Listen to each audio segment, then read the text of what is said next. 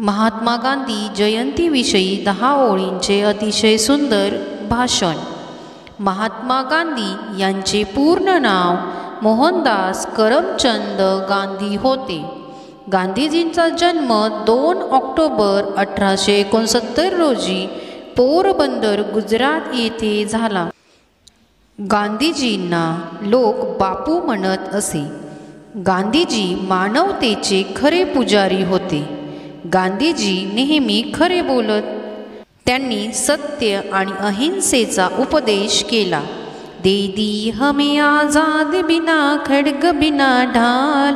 साबरमती के संत तुने कर दिया कमाल. गांधी जयंती संपूर्ण देशभरात साजरी केली जाते.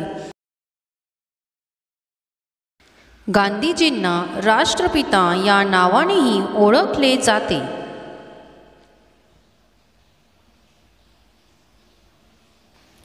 गांधीजी हे एक महान राजनीतिक आणि समाजसुधारक होते. जय हिंद जय महाराष्ट्र.